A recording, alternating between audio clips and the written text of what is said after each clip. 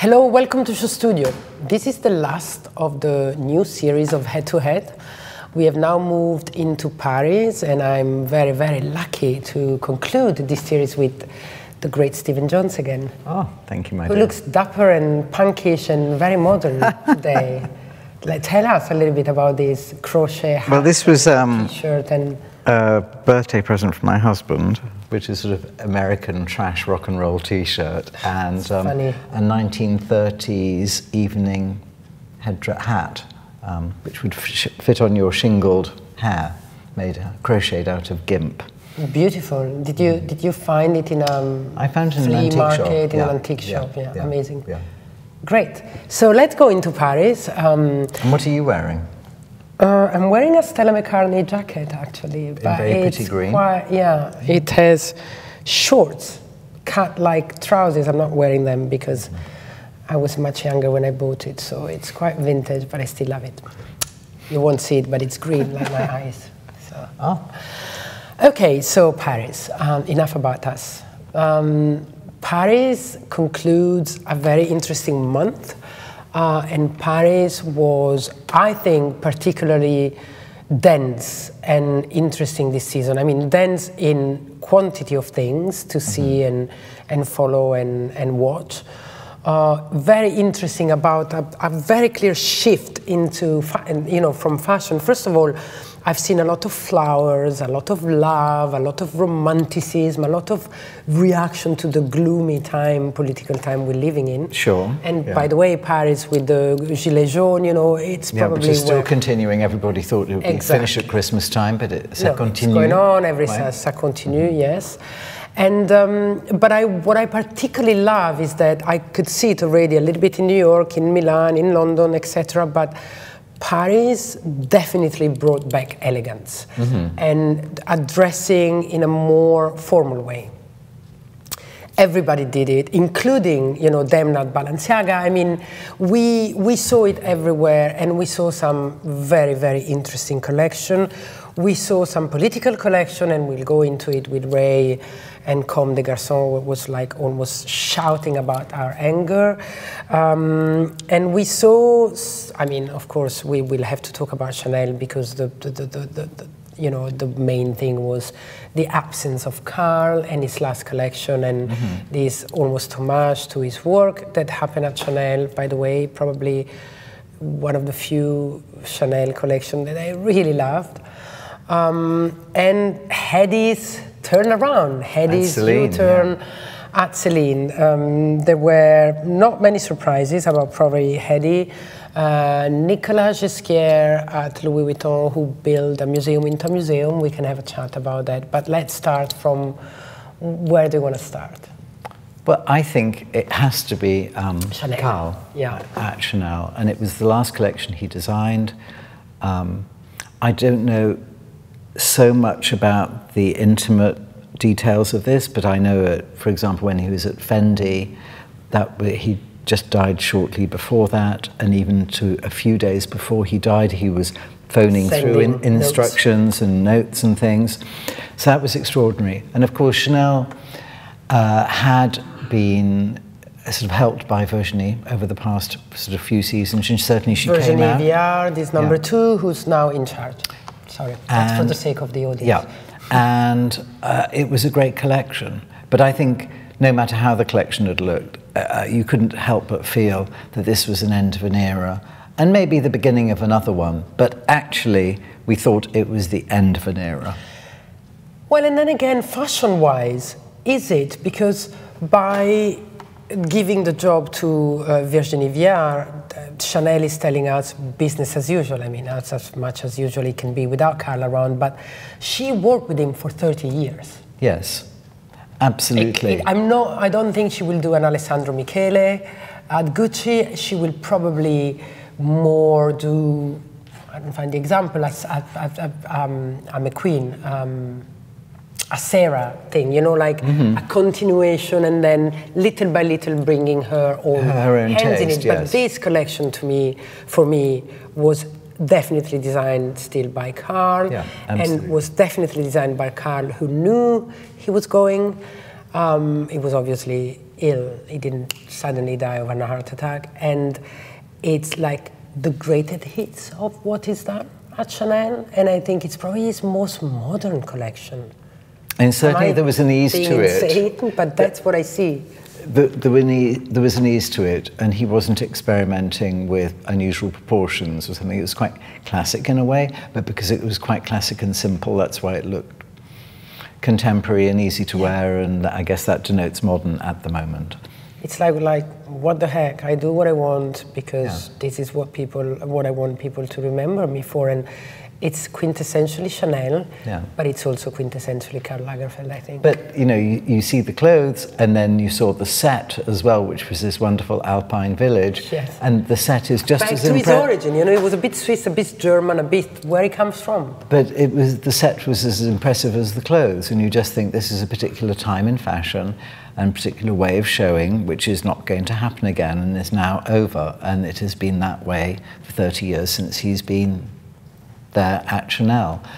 Um, he definitely invented the, uh, the incredible set. Yeah, I mean, other, pe other people had a, a, go at doing it, but I think that was the background to the season with lots of other things going on. I mean, for, for example, probably the, one of the most noteworthy were, was Hedi's collection at Celine. Uh, Can I just say one second yeah, here sure. still, because I really need to mention the music of this show that added emotion to emotion, and it was from Philip Glass to Heroes, and mm-hmm. Heroes mm -hmm. was Karl's apparently favorite song by David Bowie, and mm -hmm. they mm-hmm. played it also. Michel Gaubert Michel Gaubert at the yeah. end of Fendi, yeah. so that was like the reminder. But I think Philip Glass at the beginning was even more mm -hmm. emotionally emotion inducing. Yeah. And um, and uh, yeah, sorry I interrupted you, but I really needed to mention this. Yeah, I think the obviously, it's very interesting because I've worked with Michel for many years, and he also does the music for Dior and yeah. many other houses, and for J.W. Anderson. Yeah. And it's extraordinary how music can really set the mood and the place and, and influence you whether the greatest make you think is that a good collection or a bad collection. Yeah. Um, coming on to Celine. Okay, this let's, let's go to really the, the big turn of of Hedi. So my idea is, and then we'll talk about the collection, did we like it or not. But my idea is that Hedi last season said to Anthony Vaccarello and the world, this is my look. What you're doing today at Saint Laurent, I made it first. And I want everybody to know this is my look. And this time he said to us, I know that I'm working for Celine, and I know what I need to do. And I will be the one who reinvented the French bourgeoise. That's how I read it. I mean, certainly. How do you read it? Certainly, if any designer could come up with a plan like that, well, it would be him. he had a Because he's a genius. Not by mistake. I don't know. I don't know. For whatever reason it happened, it, it did. And he got not particularly positive reviews last season, and people sort of loved it this season, just because it was a very interesting point of view. For me, personally, with this sort of look, it's, you know, when I came to London in 1976, this was the look that existed yeah. within the world of Sloane Rangers. Yeah. Um, yes. And that's why punk was invented, was against something like, like this, this yeah. which was about bourgeois values. But that was ancient history and a very different point of view, and people don't think like that. But actually, you know, a, a beige pleated skirt, culotte, culottes, um, has a whole range of connotations for me, but for somebody who's 18 or 20 or whatever, they've never experienced clothes like this before. So well, it's funny you say that because I was discussing this with my colleagues this morning who are all very, it's very much Diana, younger. It's very Diana, Princess around. of Wales. It's very Diana, yeah. Princess. I mean, look at the little blouse. It's a little the, bit Frencher than that, I think. It's more French than British bourgeois. Do you see? Do you see some English? Well, maybe mm -hmm. because I didn't know it as well. Yeah. You know. Yeah. But uh, but uh, I mean, one thing about this collection is the more I look at it, the more I like it. Uh, my first, maybe because I was busier being shocked by what was going on, I was, I, I didn't, there are some looks in here that I really love. What I want to say, and uh, again, you know, Hedi has enemies and friends, and I'm trying to be objective here. He's very, very clever. Yeah. And one thing he has is that he has an eye for what is going to be on trend. And by on trend, I mean what people will want. And we've seen it in the past season a little bit, this going towards this dressing up in a classic uh, way. Mm-hmm. And as you said, for the young people, this is completely new. It's not for us, but for the young people, it is. So, I mean, there are some looks here, you know, the one with jeans thrown in with those beautiful, beautiful boots. Yeah. That are extremely modern, extremely cool. Yeah. And yet, it's a jacket, a sweater, a pair of jeans. So again, he gave us clothes. Yeah, jeans. Which fantastic. is the new trend, is giving us clothes, mm-hmm. right? Mm-hmm. And uh, he but, did it you know, a, in a, a very shirt, focused way. A shirt under a jumper is such a look. Um, I, wear, I wear this every day. I'm so fascinated to see whether this goes for summer 2020, because the summer version of this look is almost Laura Ashley. Oh, God forbid. Well, Sorry, yes, but that little collar, it becomes a little floral. Yeah, I think and a little bit of lace. Uh, yes, I know, but that's why I find it so. I don't think he's going to do Laura Ashley, but how this transitions into a summer look, really tricky because, of course, in the winter you can do a, a flight jacket like this with the with tweeds. A, with the tweeds. In the summer, you can't. No, but you know, I, I trust the great Hedi Slimane yeah. to come up with some incredible solution. Yeah. And talking about great designers, I would like, even if it was at the very end, I would like to talk about uh, Nicolas Ghesquiere at right. um, Louis Vuitton. The last show of the season, or is Miu the last show of the season? No, I think now it's Vuitton. Yeah, yeah. I think it ended with Vuitton, but anyway, one or the other, and there, I think this was the last. So, um, first, very different ad, uh, advice on building the Beaubourg uh, five minutes from the Beaubourg in the Louvre. What do you think about that? Obviously, they've got a lot of money. so there you go. so they can do, do something like that. Um, I'm a little bit tired of this building Tour Eiffels into the Grand Palais and Beaubourgs into the Louvre, and I'm bigger than you, or my company has more money than yours, my show costs more than yours. I mean, Nicolas Ghesquiere is one of the best designers, probably the best designer of his generation. At the peak of his career at Balenciaga, he was delivering minimal, small shows with the best fashion mm-hmm, mm-hmm, and the mm-hmm. best yeah, creations yeah, yeah, and the best creativity. Why does he do that? I mean, we could talk for many, many, many minutes about, uh, many hours about what he's doing. I want to hear. What he's doing at the moment. Um, I think there's a conundrum that obviously v, what Vuitton sells is actually leather goods mm-hmm. and not clothes at all. Not even I mean, I they sell canvas with LV on it. Yeah, and especially. what percentage of their turnover comes from clothes? So in a way, financially, what he's showing for clothing does not matter, doesn't affect the bottom line. However, it really mm, affects mm, the perception, because perception of the brand. desirability of the brand. Yeah, and I think probably what he doesn't want to do is fall into the trap of doing something different every season. I think he wants to sort of make it newsworthy somehow. I didn't dislike the collection at all. I mean, again, you know, I've been there, I've been in the 80s, I've been watching, binge watching, re-watching, desperately seeking Susan and dressing like this. So for me, it's like, whoa, it's a little bit of an eye shock. Mm-hmm. But there are some pieces in this collection that they're absolutely fantastic, and I can see the genius of Nicola.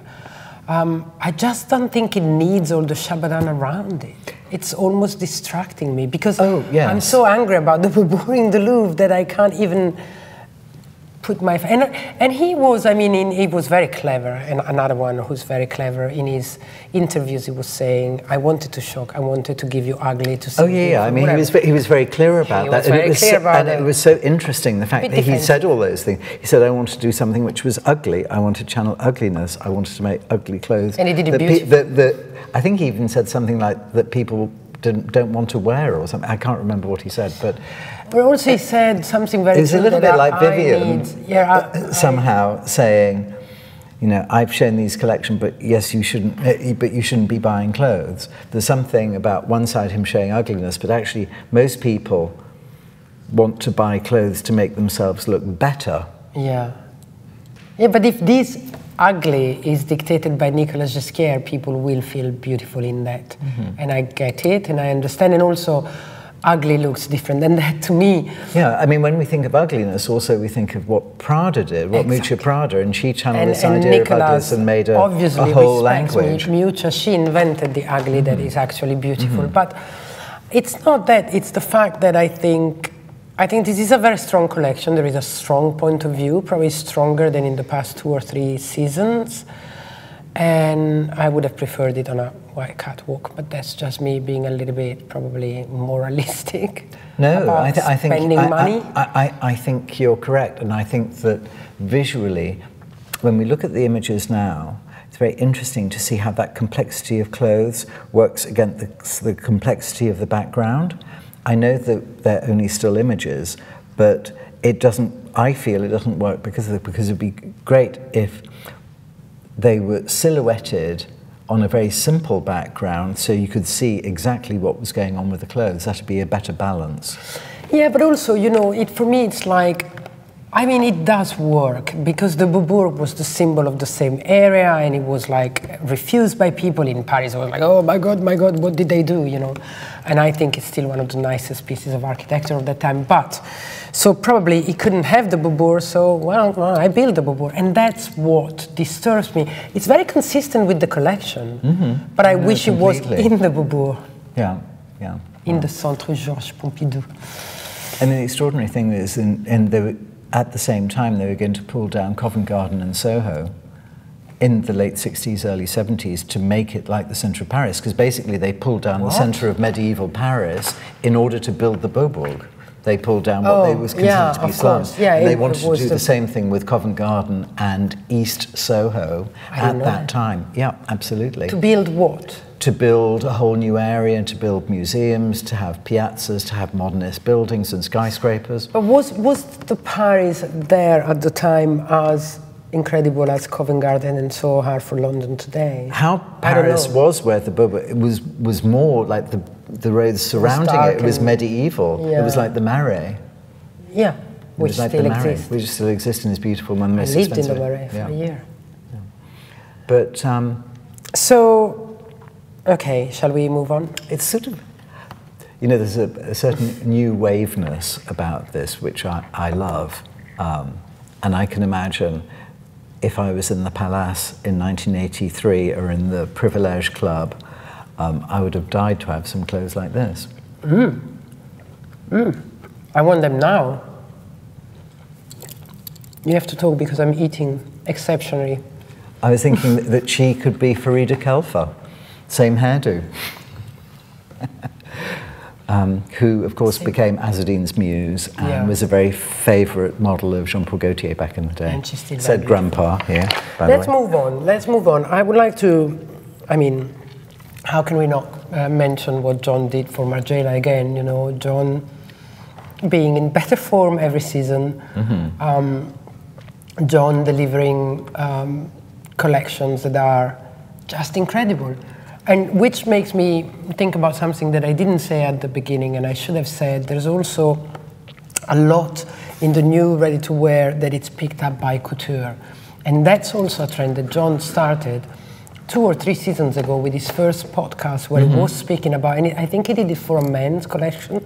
He said, I'm putting the same techniques that I found in couture into ready to wear to make them wearable. And he's gone and on and on and going. And now everybody is sort of picking up on that great idea that, as usually, came from John Galliano. Yeah. Um, but what was extraordinary about this last season, it was about print and colour uh, but actually for the for the artisanal collection, it was about print and colour uh, for the couture. Amazing, yeah. yeah, well, it was art, the, what they call the artisan collection. Artisan, they don't yeah. call it haute couture. No, you're right. But I was, you know, I'm yeah. trying to make it simpler for our audience. Yeah, but a very big difference between haute couture and the artisan. Artisan is really about being handmade and cutting things together and things which have got sort of rawness. Haute couture is about very much about that sort of refinement and elegance and silk mm. and everything. But I thought it was a fantastic collection because suddenly it was all taupe, olive, black, yeah, very navy, yeah. very discreet.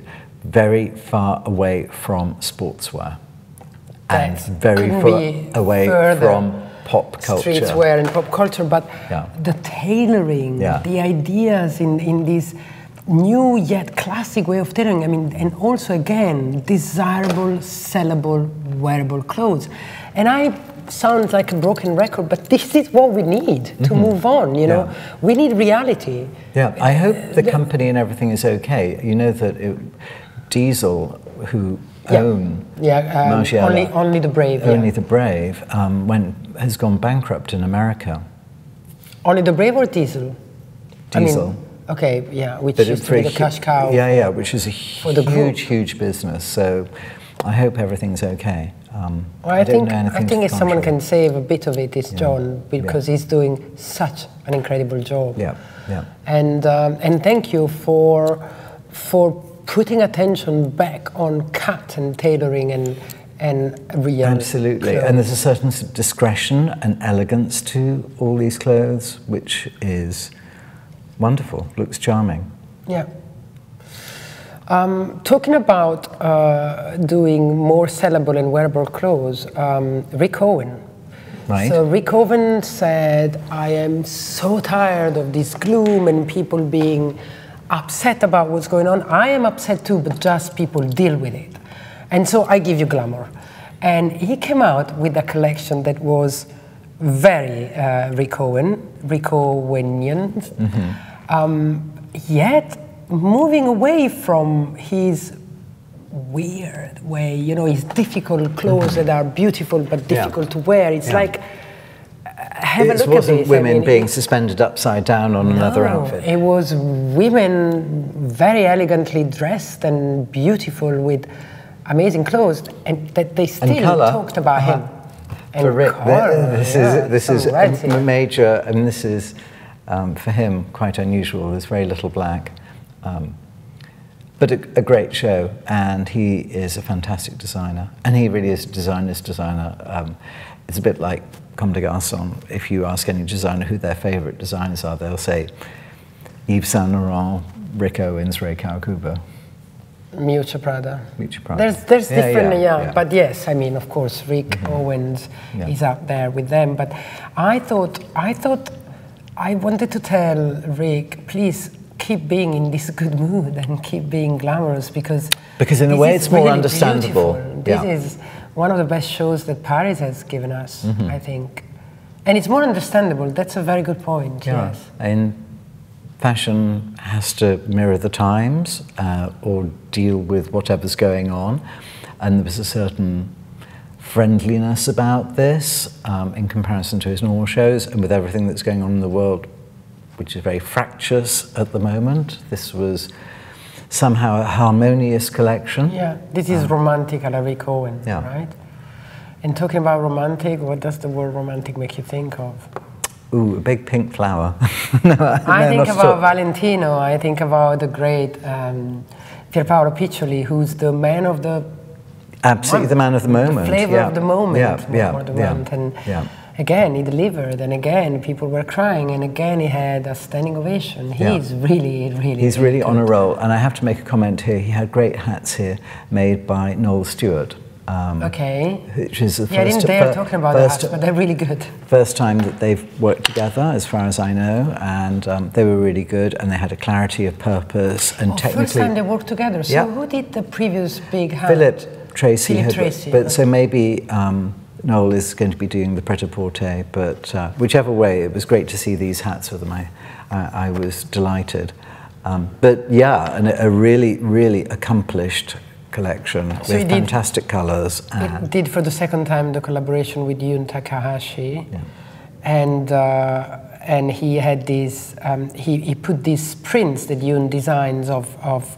I think they're neoclassical statues making love or kissing. I mean, being lovers, and he put them on on, on some of the garments, creating these very modern looks. yeah, Um, and I love the fact that they continue. You know, it worked last season, and, and it, it, it's it's it's going on. It's not just one off. Well, it's funny because you know quite often he's done collaborations. Like he did a collaboration with Zandra Rhodes a few years Yeah. ago. Do you remember that? Exactly, when he used her prints.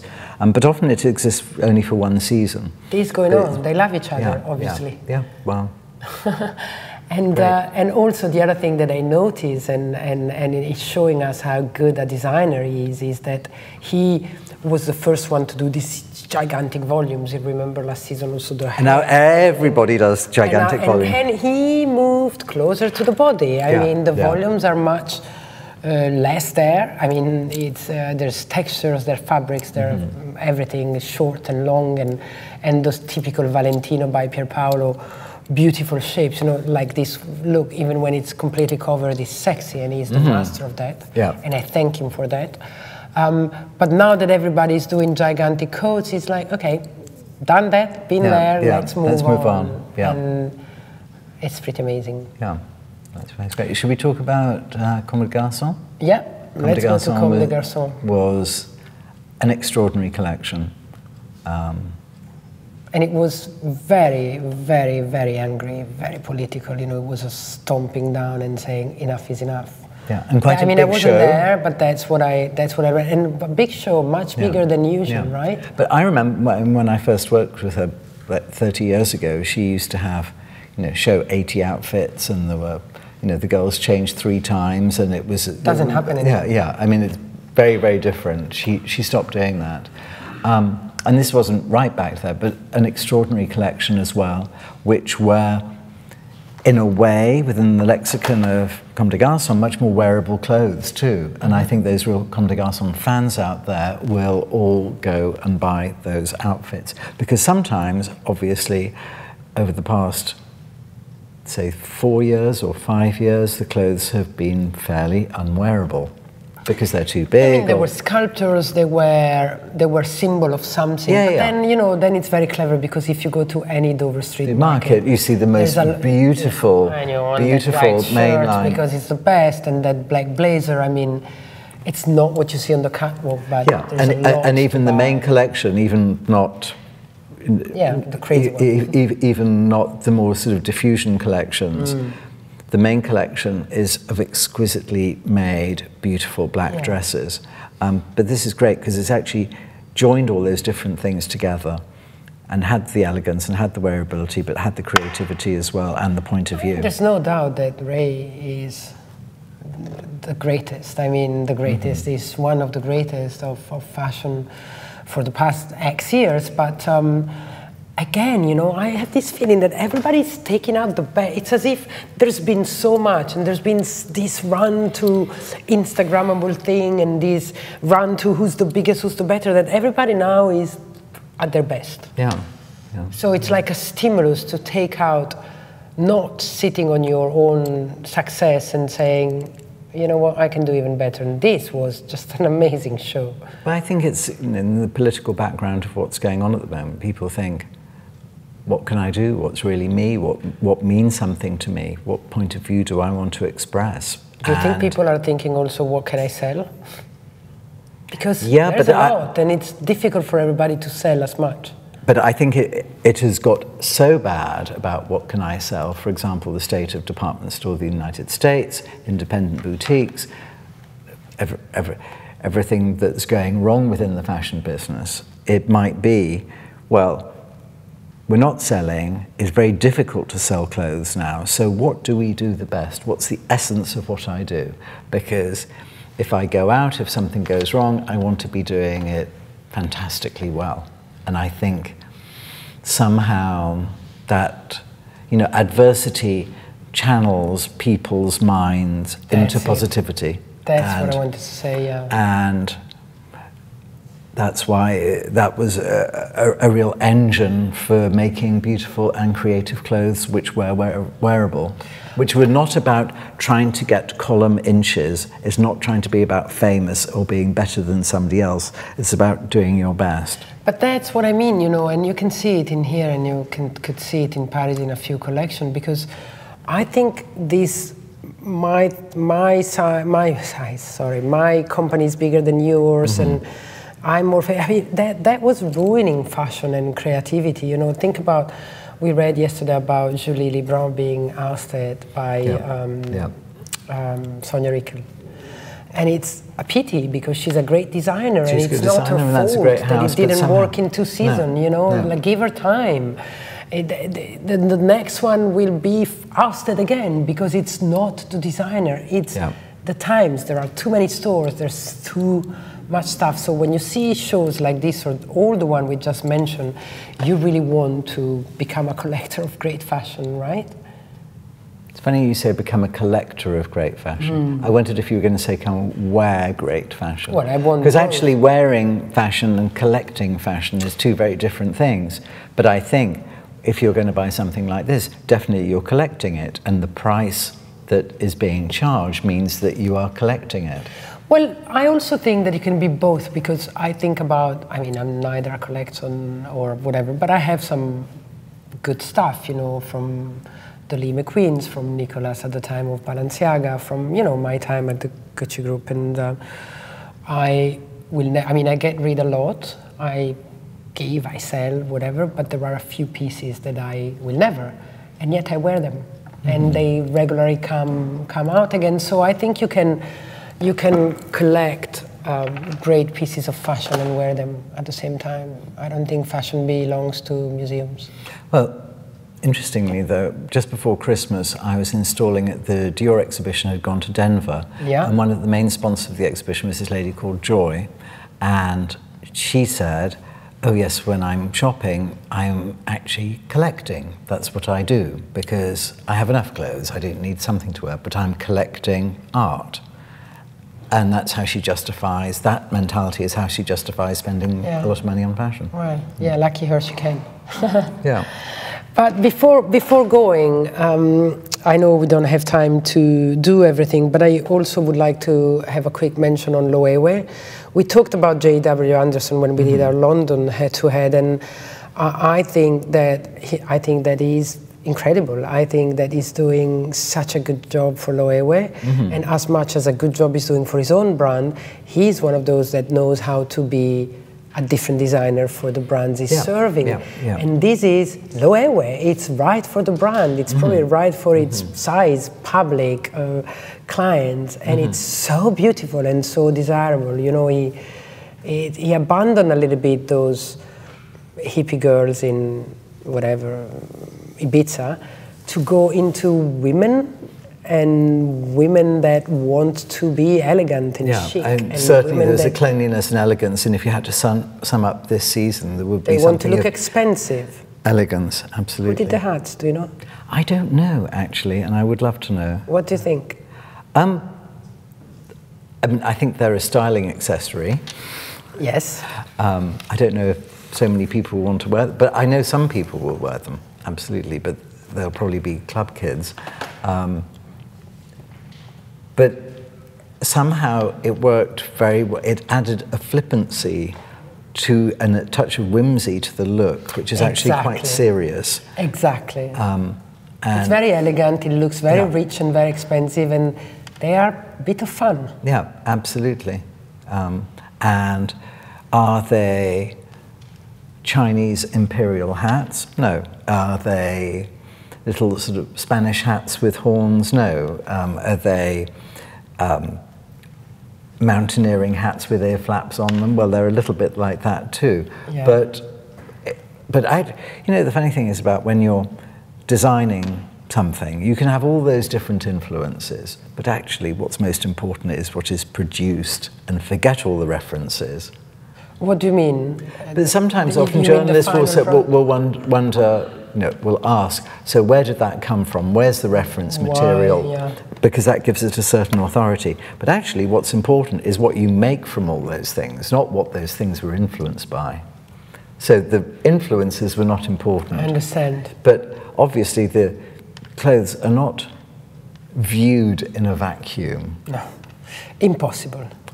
We're just not like that. Like designers live in a vacuum. Even, even a white T-shirt is a point of reference. However, is the just it's a white T-shirt, and whatever those references are, design references, cultural references you leave behind and you say, well, that coat looks great because blah. Yeah, very well said. Um, I think we need to conclude, and uh, there's so much I wanted to talk about. Paco Rabanne did an amazing show. I think uh, Givenchy was an amazing show, and um, we didn't talk about Dior for once. No. But anyway, but I, I, Tom, I quickly Thom Browne because that was quite astonishing. Quite an astonishing you show. You have probably some insight about that, um, right? Um, turn round from his last show, which was absolutely. Um, uh, slammed by the critics for being insulting to women. Um, and this show was a reprise of his show 10 years ago, um, which was one of his, I think, his first women's show, which was about women wearing a uniform to an office. Um, however, even though you wanted to talk about Thom Browne, what I would love to talk about, else you want to say? yeah, is about Paris's importance within the fashion business lots of people are talking about, you know, it really is all about Paris now, and it's becoming stronger and stronger and stronger. And, you know, Paris became important for fashion with right. Marie Antoinette. Yeah, exactly. It's, and they've been everything they've been doing is to underline that importance. That's why Thom Browne shows there. Yeah, if it was not the most Stella important. McCartney shows that. that. That's uh, why yeah, you know. Yeah. But it's also because of the market. Yeah. Even those that don't show there, they definitely go there to sell. Absolutely. So yeah, Paris will always be Paris, yeah. like it or not. But anyway, we need to conclude, and with this we conclude a very, very, very intense season.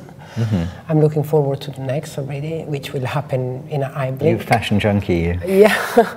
so thank you very much for watching and thank you for following our head-to-heads. This is the last one of the season.